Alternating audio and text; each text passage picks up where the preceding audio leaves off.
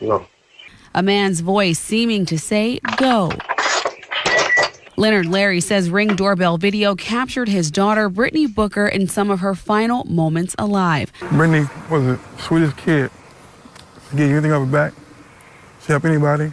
Larry says the man in the video is Terry Jackson. Racine police say the 41 year old broke into Booker's home and left with her. Authorities say her body was found nearby hours later in her vehicle. You have to do that to my kid. This man is dangerous. He's callous. He has no regard for human life. And if you know where he is, you need to let us know. The criminal complaint details Jackson's assaults of his ex girlfriend and also Booker. One attack on February 20th, where his bruised ex told police Jackson beat her unconscious in her car. And another on February 27th, where she says Jackson attacked her and Booker with a hammer as she tried to get her belongings from his home. She was holding my grandbaby. And because he was beating that girl again, and Brittany tried to break it up.